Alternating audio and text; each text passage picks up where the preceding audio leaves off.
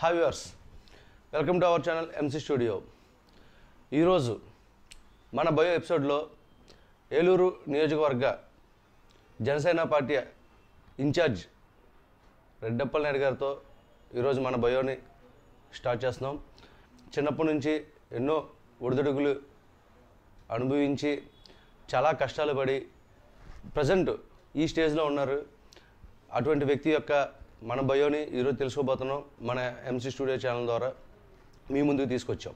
చిన్నప్పుడు ఆయన యొక్క నడవడికే కానీ ఎడ్యుకేషనే కానీ పెద్దల పట్ల వినయ విధేయతలే కానీ పేరెంట్స్ మీద ప్రేమానురాగాలే కానీ ఏ రకంగా ఉన్నాయి ఏంటి?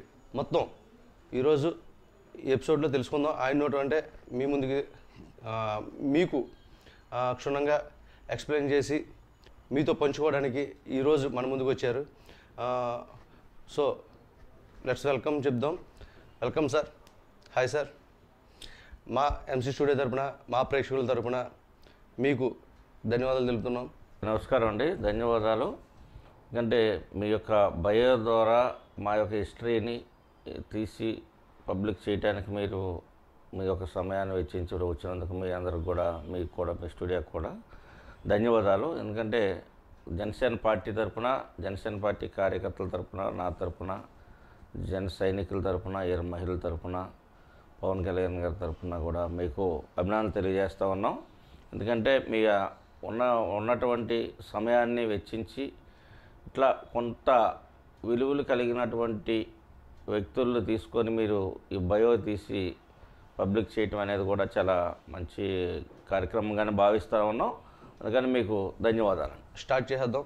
ఈరోజు ఎపిసోడ్ మీ యొక్క చిన్నతనం గురించి తెలుసుకుందాం. మీ చిన్నతనంలో జరిగిన చిన్న చిన్న ఇన్సిడెంట్లు మధుర క్షణాలు మీ పేరెంట్స్కి మీ మీద ఉండే కేరింగే కానీ మీరు చదువుకునే టైంలో స్కూల్కి వెళ్ళకపోతే జరిగిన ఇన్సిడెంట్సే కానీ ఇలాంటి అద్భుతమైన మధుర క్షణాలని మా ప్రేక్షకులతో పంచుకోండి.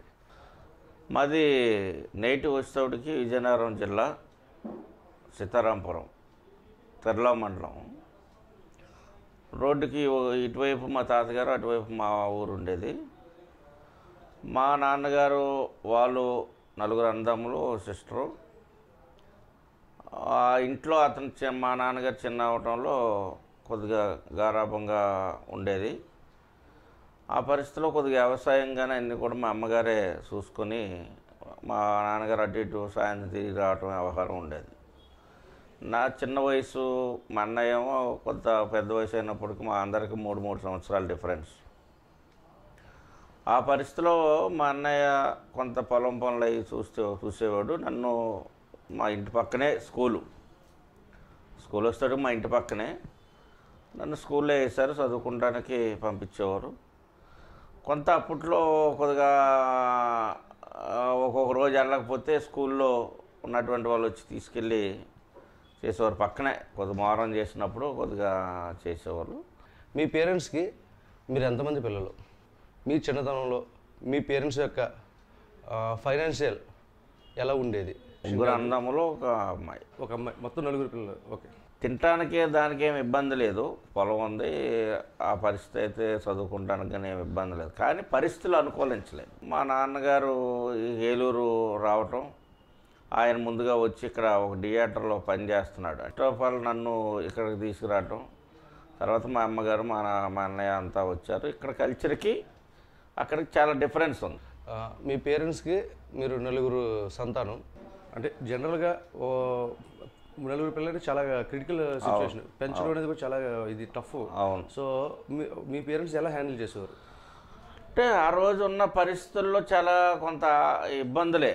కానీ ఉన్న దాంట్లోనే అడ్జస్ట్మెంట్ చేసుకొని నన్ను మాత్రం చదివించారు. మా తమ్ముడు చాలా చిన్నవాడు. ఇంకా చదువుకుండే అంత ఇది కూడా కాదు. మా సిస్టర్ ఏలూరు వచ్చాక పుట్టింది. పరిస్థితిలో ఏంటంటే నేను మాత్రమే చదువుకునేవాడిని ఫిఫ్త్ క్లాస్ దాకా చదువుకున్న తర్వాత ఇక్కడ తర్వాత కొన్ని రోజులు మా తాతగారు ఊర్లో ఉన్నాను. ఆ తర్వాత ఇక్కడికి మా నాన్నగారు ఇక్కడికి రావటం వల్ల ఆయన ద్వారా నేను ఇక్కడికి రావటం తర్వాత మా అమ్మగారు అంతా రావటం ఇక్కడికి వచ్చిన తర్వాత కొంతకాలం ఇక్కడ స్కూల్లో వేయటానికి కానీ ఇది లేదు మా నాన్న వచ్చేసి సత్యనారాయణ థియేటర్లో సెటిల్ అవటం ఆ పని చేయటానికి. స్టార్టింగ్ ప్రారంభం అనమాట ఇది ఆ పరిస్థితిలో నేను ఇంక ఇక్కడికి వచ్చాక చదువుకోవడానికి అవకాశం లేదు. మా తమ్ముడిని చదువుకుంటానికి వేసాం కానీ తను సరిగా వెళ్ళలేదు. ఇక మా సిస్టర్ మాత్రం చదువుకుంది. చిన్నప్పుడు మీరు స్కూల్ చదువుకున్నారు కదా? స్కూల్ మేట్గా ఉన్న అదే స్కూల్లో ఉన్నప్పుడు మీరు ఎలా చదివేవారు? ఏమైనా అంటే వండర్ఫుల్ క్లాస్ ఫస్ట్ కానీ అలాగే చదివేవాడిని బాగానే చదివేవాడిని కాకపోతే ఒక్కొక్క రోజు వెళ్ళేవాడిని కాదు. ఆ వెళ్ళినప్పుడేమో వాళ్ళు తీసుకెళ్ళటం ఇది చేసేవాళ్ళు. ఇంకా కొన్ని రోజులు అక్కడ సరిగ్గా ఉండట్లేదంటే మా తాతగారి ఊళ్ళో పెడితే స్కూల్ అటెండెన్స్ చేసుకుని మళ్ళీ వచ్చేసి మళ్ళీ వెళ్ళేవాడిని. ఆ రకంగా కొన్ని నేను కొంత ఆ రోజు నిర్లక్ష్యం చేయటం. తర్వాత ఎంత తపన పడినా వయసు దాటిన తర్వాత చదువుకోవాలంటే కొంత ఇబ్బందే అయింది. పదమూడు సంవత్సరాలే పన్నెండు పదమూడే ఉంటుంది. వచ్చిన తర్వాత ఇంక నేను నిమ్మకాయల కొట్లో పని చేయటానికి ఆ, కుర్రోడిగా అలా జాయిన్ అయ్యి దాంట్లోనే జీవితం అంతా అట్లాగే అయిపోయింది. మీ అదే మీ ఫ్యామిలీలో మీ అన్న మీ అన్నదమ్ముల్లో సిస్టర్లో కానీ ఎవరు బాగా ఎడ్యుకేషన్లో బాగా చదువుకున్నారు? మా చెల్లె చదువుకుంది. అంటే మిమ్మల్ని ప్రయోజనం చేయాలని మీ పేరెంట్స్ ఉండేదా? చేయాలనేది మా పేరెంట్స్కి ఉండేది నాకు కూడా చదువుకోవాలనేది ఇక్కడికి వచ్చిన తర్వాత ఎక్కువగా ఇంట్రెస్ట్ ఉండేది. ప్రైవేట్గా చదువుకున్నాను తర్వాత. సో మీ మదర్ గారు లీడింగ్ చేయడం అనేది మామూలు విషయం కాదు. సో అప్పుడు ఫుడ్ మీ చిన్నప్పుడు ఉన్నప్పుడే కానీ మీకు ఫుడ్ అట్మాస్ఫియర్ అంటే ఫుడ్ ఏమైనా ఫుడ్ కానీ ఎలా ఉండేది? ఆ ట్రీట్మెంట్ అంటే చిన్నప్పుడు విషయం వచ్చేవాడికి మనకి విజయనగరం ఆ జిల్లాలు ఇటు వచ్చేటికి అసలు అన్నం దొరకటమే కష్టం. అన్నం దొరకటమే కష్టం. ఆ రోజుల్లో చోడి అంబలే తప్పించి లేదా ఇంక వేరే ఆల్టర్నేట్ ఇప్పుడన్నా అన్నం దొరికితే ఈరోజు ఈరోజు రోజు బిర్యానీ తింటున్నారు స్పెషల్ బిర్యానీ అంటున్నారు. ఆ రోజు అన్నం దొరికితే బిర్యానీ లెక్క. ఆ రోజు పరిస్థితులు. ఏదైనా వైట్ రైస్ తింటున్నారంటే ఆ రోజు గొప్ప ఆ రోజు. ఆ రోజు పరిస్థితులు అట్లాంటివి. డెబ్బై సెలరీ ఎనభై లోపు అంతే పరిస్థితులు ఉన్నాయి అటువైపు చూస్తే. అందుకని ఏంటంటే అన్నీ చిన్నప్పటి నుంచి కష్టాలన్నీ మైండ్లో ఉన్నాయి. ప్రతి అంగుళం కూడా ఇక్కడ మర్చిపోలేనటువంటి సంఘటనలే. ఆ రీత్యా కష్టపడుతూ ఇక్కడికి వచ్చిన తర్వాత కొంత ముఠా పనిలో జాయిన్ అవ్వటం అక్కడి నుంచి చిన్న కుర్రోడుగా కుర్రోడుగా జాయిన్ అవ్వటం అక్కడి నుంచి అలాగా కంటిన్యూషన్ అవ్వటం. చిన్నతనం అంటేనే చాలా వండర్ఫుల్ లైఫ్ ఎందుకంటే ప్రతి ఒక్కరికి కూడా చిన్న చిన్న కోరికలే కానీ చిన్న చ- అన్నీ ఉంటాయి. సో అటువంటి కోరికలను కూడా ఉన్నప్పుడు అడిగితే మీ పేరెంట్స్ వాటిని తీర్చేవారా లేదా ఇంకేమైనా పేరెంట్స్ అంటే ఇంక టోటల్గా ఓవరాల్గా మా మదరే. మా నాన్నగారు అంత ఇది కాదు మా మదరే. అంటే ఆ రోజు ఎడ్యుకే ఎడ్యుకేషన్ అనేది అంత ఎక్కువగా లేదు పెద్దవాళ్ళకి కూడా లేదు కనుక ఏదో మన ఇంట్లో మన పిల్లల్ని చదివించుకోవాలి మంచిగా ఉండాలి ఉన్నదాన్ని ఏదో అభివృద్ధి పరచుకోవాలని ఉండేది. కొద్దిగా అప్పుడు మా ఫ్యామిలీకి మైనస్ ఏంటంటే మా నాన్న సరిగా బాధ్యతగా కొంత లేకపోవటం అంతా మా అమ్మగారు చూడటం ఆ రకంగా కొంత మైనస్ ఉంది. మనం ప్రాక్టికల్గా మాట్లాడుకుంటే మైనస్ అది ఉండేది. దాని మీద మేము చేతికొచ్చిన తర్వాత ఇక ఆ రకంగా అన్ని రకాలుగా దిద్దుకొని వ్యవహారం చేసుకున్నాం. సో అంటే మీ ఫాదర్ గారు కొద్దిగా ఆ మైనస్ అనేది ఉండడం వల్ల ఆ మైనస్ ప్రెజర్ అనేది మీ మీదైనా పడేదా? పడుద్ది కదా. ఆటోమేటిక్గా అప్పుడు కుటుంబం అంతా సక్రంగా ఉండి తల్లి తండ్రి సంరక్షణలో నడిస్తే అటు తల్లికి అందరికీ శ్రేయస్కరంగా ఉంటుంది. తండ్రి మైనస్ అయినప్పుడు భార్య మీద పిల్లల ఒత్తిడి అంత పడుద్ది.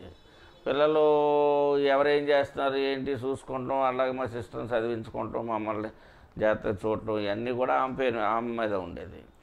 అట్లాగా కష్టం అనేది అందరం ఒకరికొకరు షేర్ చేసుకునే వ్యవహారంగా ముందుకు వచ్చాం. మదర్ వరకే ఆమె మేము కష్టపడి మేము తీసుకెళ్తే ఆమె మమ్మల్ని అలాగా సక్రంగా గైడ్ చేసి తీసుకొచ్చారు. ఇక తర్వాత వచ్చేటప్పటికి మేము కూడా చాలా కష్టపడ్డాం. చిన్నప్పటి నుంచి అట్లాగే కష్టపడటం. కోరికలు అనేది ఇది ఒక సినిమాకి వెళ్ళాలన్నా లేకపోతే ఏదన్నా ఇంకా నలుగురు కుర్రాలు ఎక్సర్సైజ్ చేస్తున్నారు బాడీ బిల్డింగ్ చేయాలి లేకపోతే ఇంకేదైనా స్పోర్ట్స్గా వెళ్ళాలనుకున్నప్పుడు కొన్ని ఆలోచనలు ఉన్నా కానీ దాన్ని అధిగమించుకోలేకపోయేవాళ్ళమి. ఉన్న దాంట్లోనే కొంత అడ్జస్ట్మెంట్ చేసుకొని ఇక్కడ ఎక్సర్సైజ్ చేయాలనుకో ఒకళ్ళ కొట్టులోనే ఉండి చేయటం లేదనుకుంటే కృష్ణా కెనాల్ పక్కనే మార్కెట్ ఉండటం వల్ల ఒక పొద్దున్న ఒక అరగంట గంట స్విమ్మింగ్ టైప్లో ఎదురేత ఎదటం. అప్పుడు కాలం బాగా వచ్చేది అప్పుడు. అప్పటికి అప్పుడు ఎన్ని సంవత్సరాలు సార్ మీకు? అప్పటికంత పద్నాలుగు పదిహేను సంవత్సరాలు ఇంకా అలాగా. పదిహేను పదహారు అట్లా సంవత్సరం సంవత్సరం. పేర్ పేరెంట్స్ కష్టపడుతుంటే మనకి పిల్ల చిన్న చిన్నప్పుడు ఉండగా మామూలుగా ఒక వయసు వస్తుండగా మనం కూడా వర్క్ చేసేద్దాం ఇంట్లోకి రూపాయి అనేది ఇవ్వాలి మనం ఇదిగా ఉండాలని ఫీలింగ్ అనిపించి అనిపిస్తుంటుంది. సో మీకు అలాగా ఏమైనా అనిపించి ఇలా చదువు ఆపేసుకున్నారా? హండ్రెడ్ పర్సెంట్ అది. Hundred percent. ఇప్పుడు ఎందుకంటే ఆ రోజు కొంత ఆ జనరేషన్లో ఆ, ఇది తల్లిదండ్రుల యొక్క కష్టాలను చూసి ఇంట్లో పరిస్థితులను చూసి మనం దాంట్లో ఇదవ్వాలన్నటువంటి ఆలోచన అనేది హండ్రెడ్ పర్సెంట్ ఉంది. దాన్ని బట్టి మేము ఇంకా అన్నీ మా యొక్క అభిరుచులు కానీ ఇంక వేరే ఆలోచనలు కానీ మానుకొని కష్టపడ్డాం. కష్టపడి ఎందుకంటే మాకంట చిన్నోళ్ళు ఇద్దరు ఉన్నారు మా చెల్లి ఉంది మా తమ్ముడు ఉన్నాడు మా అన్నయ్య నేనే చేయాలి. మా నాన్న చేసిన కొంతవరకు వచ్చేది కొంతవరకు పోయి అన్ని రకాలుగా ఏంటంటే ఇక దాని మీద మేము ఎక్కువగా దాని మీద శ్రద్ధ తీసుకొని మా అమ్మ కష్టం ఆమె ఒక ఆలోచనలో బాగా సోమలయ్యి మేము చేసేవాళ్ళం. దానికోసం ఇంక వేరే మాకు ఉన్న ఆలోచనలు ఉన్న దాన్ని పక్కన పెట్టేవాళ్ళం. సార్ ఇప్పుడు మీ పేరెంట్స్కి మీరు నలుగురు కాబట్టి మీ యొక్క అన్యోన్యత ఎలా ఉండేది అప్పుడు ఇప్పుడైనా ఆ, అప్పటి నుంచి ఇప్పటి వరకు అదే పరిస్థితి ఉంది. మా అన్నదమ్ముల మధ్యలో కానీ మా సిస్టర్ కానీ మా అమ్మగారు అంటే కాలం చేశారు. అందరికీ అదే పరిస్థితి ఉంది ఇప్పుడు ఏ రోజు అభిప్రాయ భేదాలు లేవు ఒకరికొకరు వేరే మనస్పర్ధలు లేవు. ఇప్పటికీ కలిసి ఉంటున్నారు ఆ, ఇప్పుడు అంటే సపరేట్ మేము పెళ్ళిళ్ళు అవగానే మామూలు జనం మేము పెళ్ళిళ్ళు అవగానే ఎవరికాళ్ళు డివైడ్ అయిపోయాం. ఎవరు మాకు పంచాయతీలు లేవు పెద్దలు లేరు ఏమీ లేదు. ఎవరు జీవితం వాళ్ళు చూసుకుంటూ ఉన్నాం చక్కగా ఏదైనా విషయం వచ్చినప్పుడు అందరం కలిసి మాట్లాడుకొని చేసుకొని వ్యవహారం చేస్తాం. సార్ ఇప్పుడు మీ మీ మదర్ గారికి మిమ్మల్ని మీ మీ యొక్క అదే మీ నలుగురు ఉన్నారు కాబట్టి సో మిమ్మల్ని చూసి హ్యాపీగా ఫీల్ అయ్యే రోజులు ఎప్పుడు ఏ- సంవత్సరంలో ఉన్నాయి ఎప్పుడు ఉన్నాయి? రెండు వేల దగ్గర నుంచే కొంత హ్యాపీగానే ఉంది ఎందుకంటే మాకు అందరికి పెళ్ళిళ్ళు అయిపోయినాయి. పెళ్ళిళ్ళు అయిపోయిన తర్వాత నా దగ్గరే ఉండేది ఎక్కువగా. ఇంకా ఇంకా ఏంటంటే ఇంకా సుఖపడే టైం వచ్చేటప్పటికి కొంత బాధ మాకు. కొంత ఆమెకి మనసు ఇది బ్రెయిన్లో కొంత ఇది వచ్చి మూలబడిపోయారు మూల పడిపోయారు ఇంకా. అప్పుడు మేము కొద్ది బాధపడ్డాం. ఎందుకంటే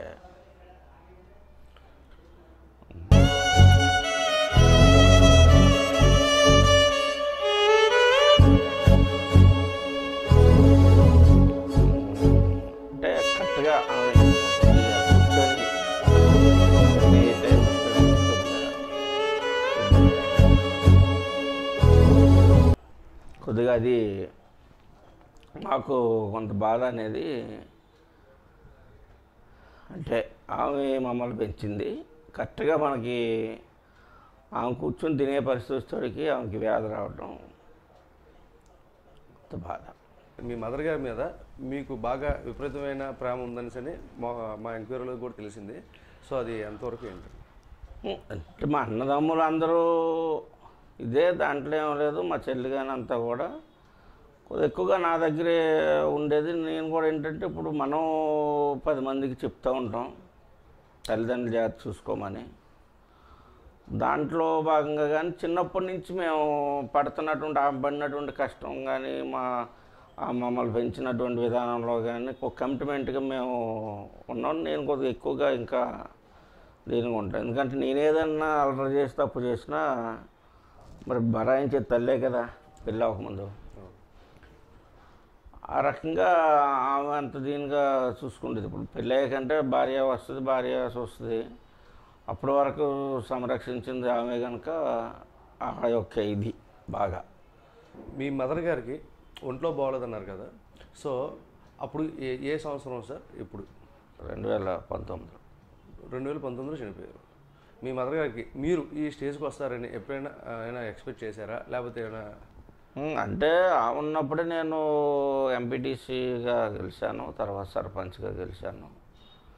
అప్పుడు ఎలా ఫీల్ అయ్యేవారు? చాలా హ్యాపీగా ఫీల్ అయ్యాను.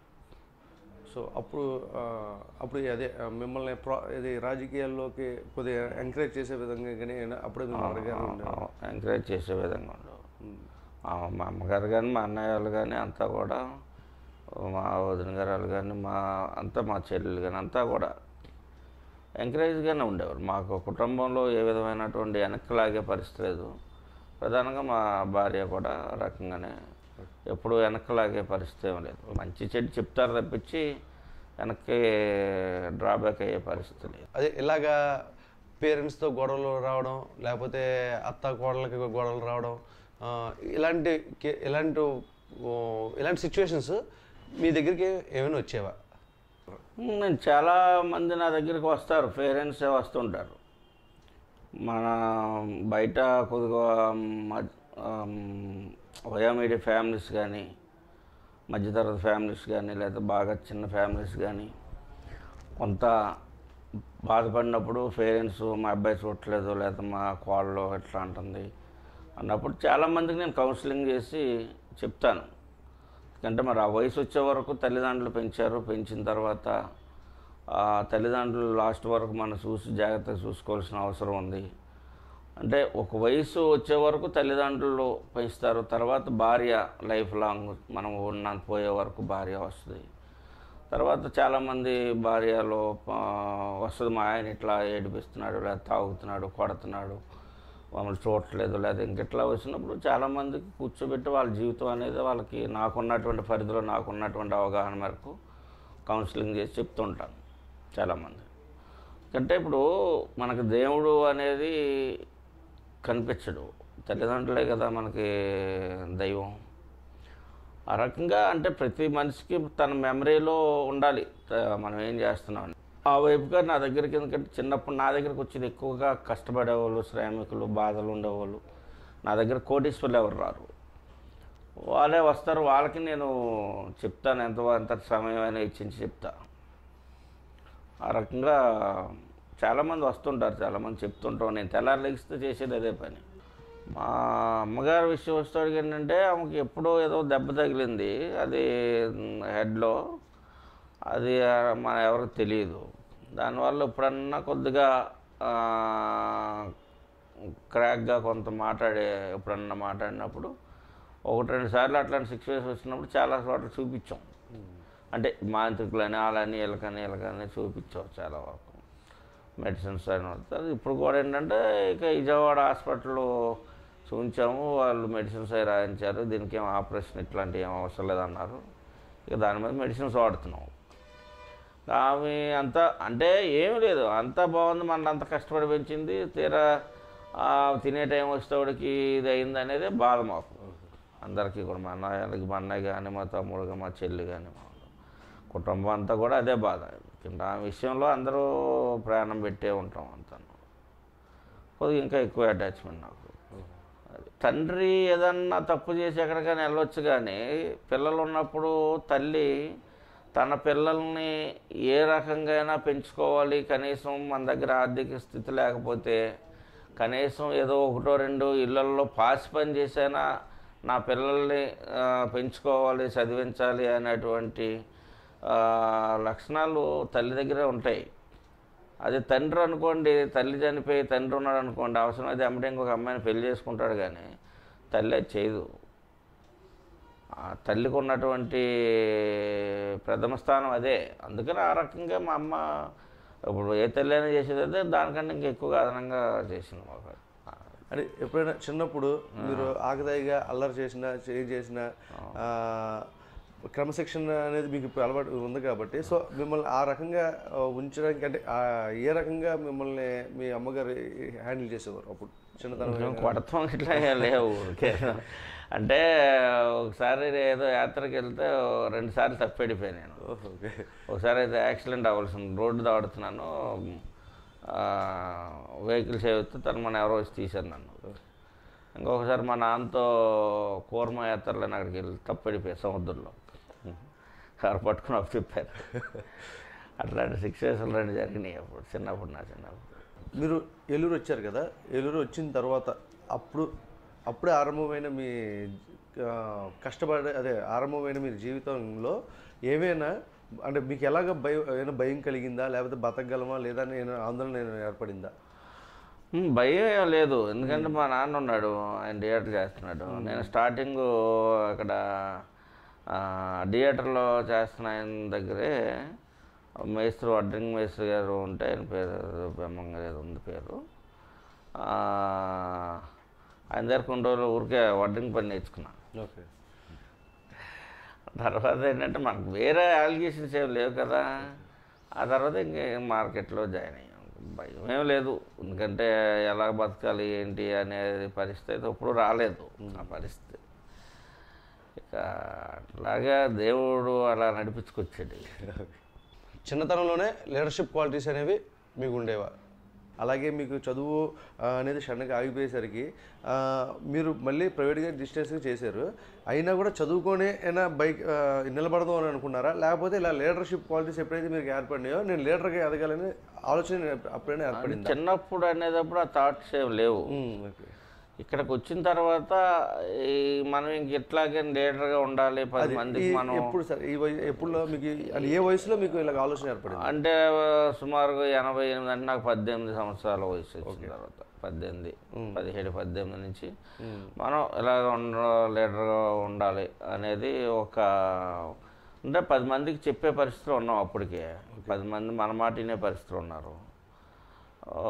ఎవరికి ఏదైనా కష్టం వస్తే మన దగ్గరకు వచ్చే పరిస్థితి ఉంది. ఆ పరిస్థితిలో ఇక అక్కడి నుంచి అది స్టాండ్ అయ్యాం. అంటే పద్దెనిమిది సంవత్సరాలు అంటే ఒక యంగ్ వయసు. ఆ. వయసులోనే మీరు ఇలాంటి హ్యాండిల్ అవును. చూసే వాళ్ళందరూ కూడా ఈ మిమ్మల్ని అంటే ఇతను ఫ్యూచర్లో ఒక రేంజ్కి వెళ్తాడు అని అనుకునేవారు? ఉండ ఉంది అది. కానీ నేను ఫస్ట్ నుంచి కొద్దిగా యాక్టివ్గా ఉండేవాడిని ఎక్కడ ఉన్న దాంట్లో. ఉండేది అది. ఆటోమేటిక్ తర్వాత ఈ పొలిటికల్ లైఫ్ అనేది ఆటోమేటిక్ తర్వాత. నేను ఫస్ట్ నుంచి లీడర్ క్వాలిటీలోనే ఉన్నాను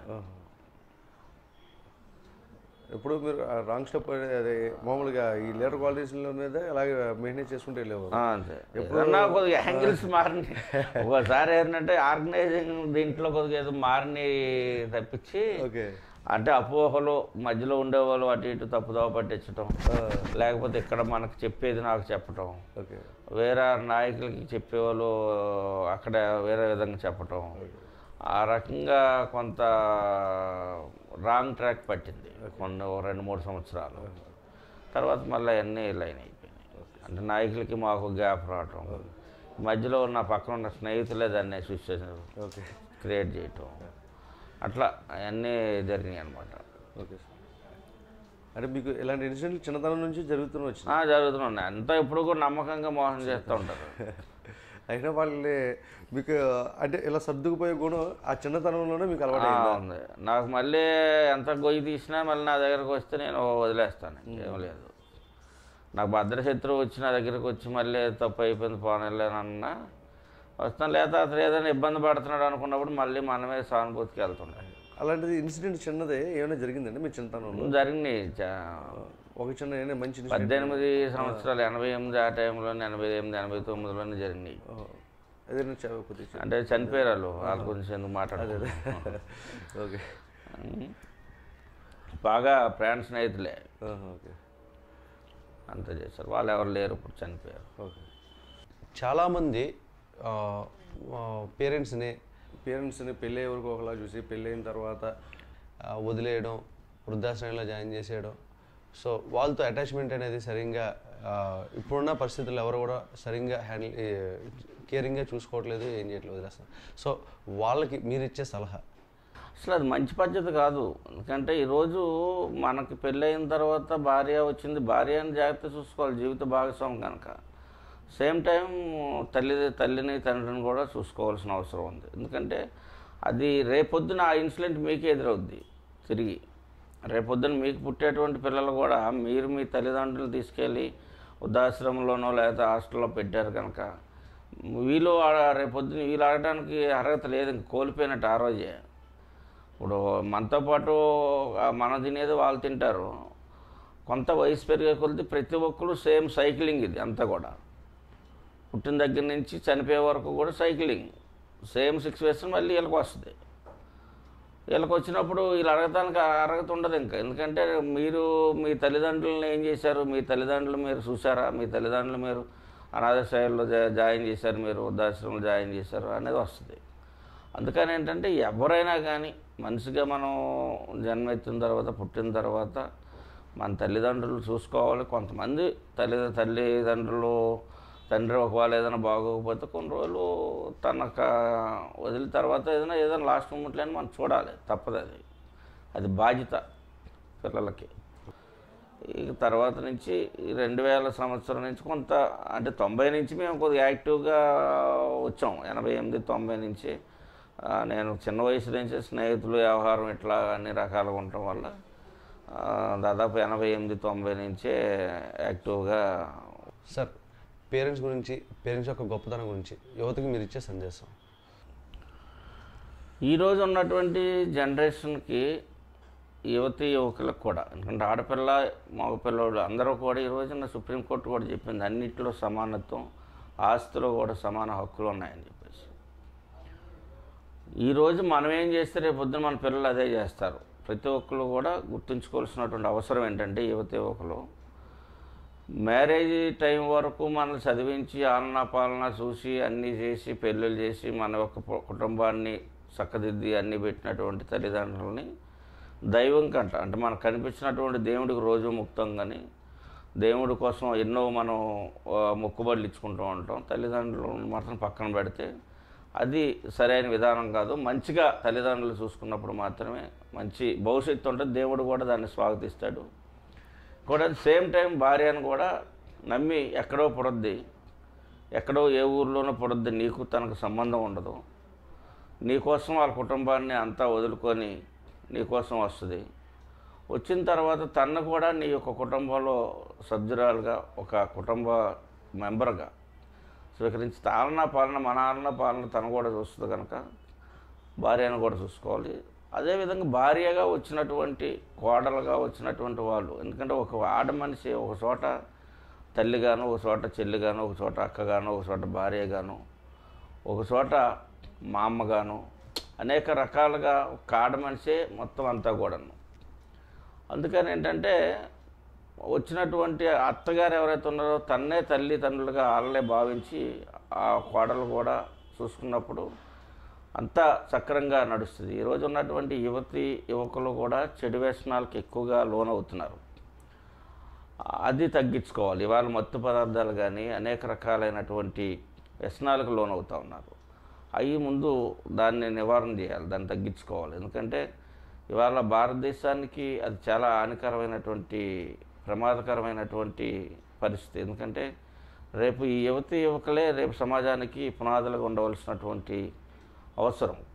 వాళ్ళు ఈ రోజున ఇతర దేశాలు మన దేశం మీద ఆ రకమైనటువంటి దాడి జరుగుతూ ఉంది. ఎందుకంటే మార్క ద్రవ్యాలు ఎక్కువగా ఓడించటం ఆ వాడకానికి లోనైన తర్వాత బానిసలుగా పోవటం సరైన సమర్థవంతమైనటువంటి పౌరులు ఈ దేశంలో లేక లేనప్పుడు ఈ దేశమే నిర్వీర్యం అయిపోద్ది అందుకని ఏంటంటే యువతి యువకులు మంచి అవగాహనతో తల్లిదండ్రులని అటు భార్యని ఇటు చెల్లుల్ని కుటుంబాన్ని చూసుకుంటూ సమాజం కోసం కూడా కొంత ఆలోచన చేసి సమాజం బాగుంటేనే మనం బాగుంటాం.